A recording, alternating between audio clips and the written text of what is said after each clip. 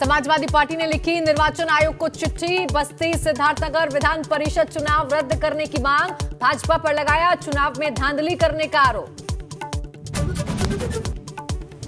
नोएडा में twin tower trial blast का काम हुआ पूरा। चौदहवें फ्लोर पर किया गया ट्रायल ब्लास्ट। 22 मई को धराशायी होगा ट्विन टावर।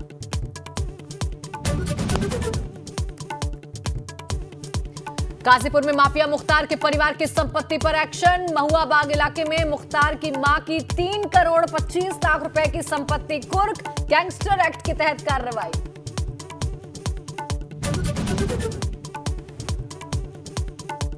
गोरखपुर हमले के आरोपी मुर्तजा पर यूएपीए के तहत कार्रवाई की तैयारी। कस्टडी रिमांड भी बढ़वाई गई।